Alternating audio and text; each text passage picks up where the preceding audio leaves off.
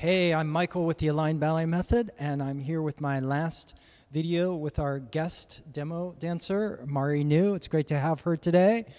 Thank you for being here, and we are going to work on a uh, step that everyone always has questions about. Everyone wants to know how do I have a beautiful, great grand jeté? Uh, I think that's a complicated question, um, and I'd like to work on the idea of coordination something I talk about frequently is the coordination of the whole phrase. So we're going to just have Mari come back. We're going to go back and we'll have her just walk through, and you can try this at home. Not even into the jump, but let's just do the tombe pas de bourrée glissade. Tombe pas de bourrée and beautiful glissade. Exactly. Good. Why don't we show that to the other side? So, tombe, beautiful, pas de bourrée, and de chat. Yeah, exactly. Or grand jeté. What I love that she's doing that I see a lot of students do not do, which I'd like you to practice, is the coordination between the arms and the legs. That when you're making this first motion, you see that coordination here, and I go pas de bourrée, and there. You see that? So it's almost as if your fingertips and your toes are connected to one another. That will help you produce a very fluid tombe pas de bourrée. Let's just watch her do that again one more time. She goes, ah, up, up, up, up. Yes, exactly. Good. Are you good to show the full? Yeah. Are you good to show the full thing now? Into the air.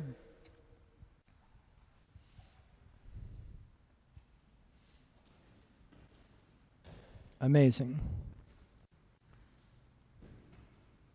Amazing. Good. Rest. Come back. I got a follow camera. Can we see that one more time? Yeah, I'm going to, uh, that was great. When you're ready.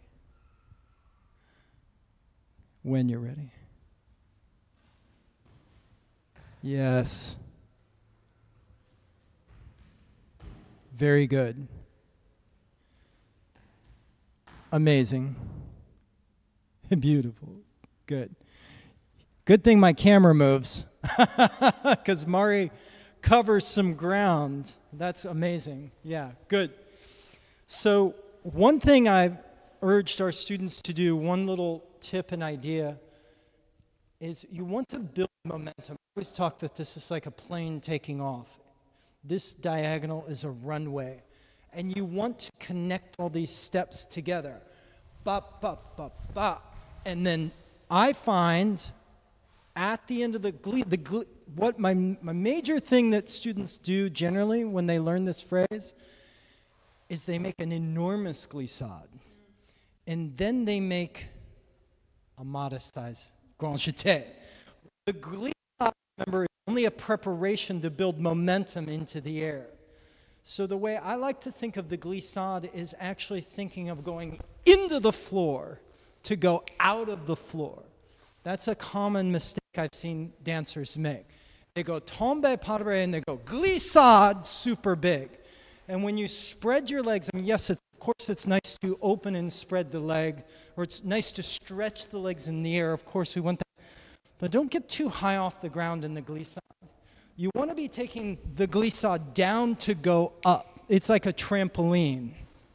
We go, and tombe pas de bourrée, down, up, down, up, out. And then you, you've dispersed your energy by that time. Do you have anything? Let's come back up. Do you have anything else to add on this kind of step? Um, sort of building onto the small glissade, something that makes the step super exciting and also more dynamic and will help you get a higher jump and a bigger split is working on the timing. So instead of doing it even one and uh, two and uh, this is the same tempo, you can do a one and pull out and a one. So that that's sort of that, you get that excitement, you get the dynamics of it being a different tempo, and it's not all on one plane because we want it to be sort of down and extend and uh, up instead of just one level. Yes. The timing will help you build that strength as well to get into the jump. Very good. Yeah. It's a phrase you have to do over and over, and you'll do it thousands of times because this is given in ballet class every day, all day long, all over the world. So it's a commonly used phrase. And the, the more you do it, the more coordination. You'll start to feel it begin to have its own natural power. But why don't we just go ahead? Um, One more quick important thing is to make sure that you're keeping your chest forward. Because I know, especially with a lot of my beginner students, they tend to get nervous about the jump and they're kind of back here. And you think that to lift your chest, you have to throw your back that way. But actually, you'll jump higher if your chest is forward. So you almost want to like reach towards that front leg instead so that you're keeping yourself over your legs. Very good point. The other thing they do is very good point. Even before the jump, they'll go like this. They'll do the tombe pas de bourrée. This is a. I'm always like pushing on their shoulders over. You want to yes, yeah. There is that little, but you're going to recorrect. You know, that's very advanced sort of like style. But generally, you want to be over your hips. See, I could have a little cambre there, but I'm not back here. It's like a bar. It's not from the hips, from the upper body that way. And if you look at it from the side, it's actually forward that way. Not back here. Very good. Very good. Okay. And when you push off the floor, obviously at the height of the jump, we want a little with the legs, if you can, if you have that kind of flexibility to open the legs in the air. I mean, you can, even if it's small, even if it's just a small, if you look at like Sleeping Beauty's entrance, Aurora's entrance, she takes little grand jetés uh, in attitude, and they are very sharp, but they're only like 45 degrees. They're sort of like that, you know, this lowness, but you still get what you're talking about. So you don't have to have full splits to get that little pop in. It can be low. Very good. It's a lifetime of work. Let's try. Let's watch Mari do this, okay? I'm gonna we're gonna back up the music, and uh, just hopefully you will learn by watching. She's gonna do a few of these.